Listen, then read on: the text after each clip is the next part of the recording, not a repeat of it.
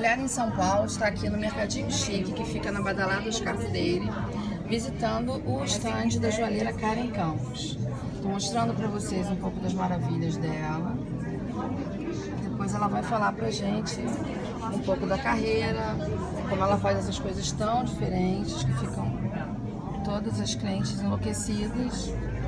E esse ano Karen está num ano muito especial, porque ela vai se casar e a sua inspiração parece ter mudado por conta disso. Os tons de rosa. A tônica da joalheira é a mistura de pedras e uma pegada muito arrojada. Nada, as peças não são nada convencionais. Quem gosta do simples, do delicado, não vai parar aqui.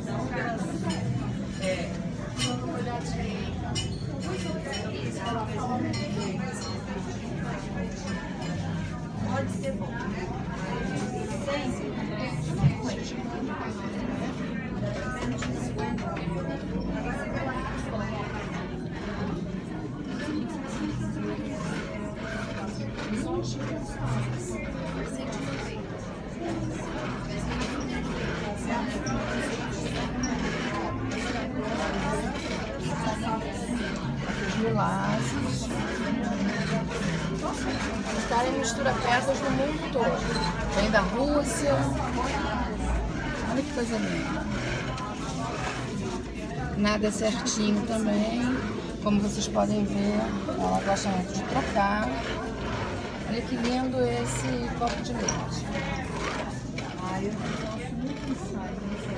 E esses são bem diferentes. Começaram agora, né, com essa nova era, né, a, a olhar diferente pro lado, para aquilo que é diferente, para aquilo que é manifestação de arte, né. Tá, a gente está resgatando essa cultura, né, graças a Deus.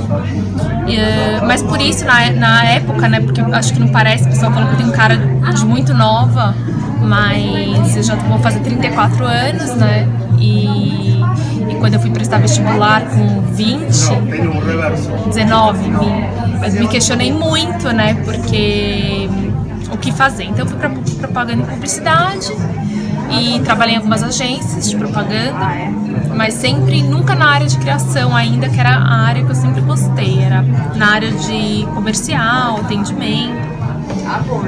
Aí eu tava na época numa rádio, eu ganhei um prêmio da Francal, top de estilismo, ganhei em primeiro lugar. A bolsa. A bolsa, isso. Comecei a fazendo bolsa e fui fazer joia por conta da parte de ferragem de bolsa.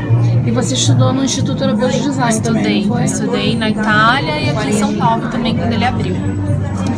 E, e aí eu me encontrei, fui fazer aula de joalheria de bancada, me encontrei na joalheria e eu tô há oito anos já. Agora é só isso, né?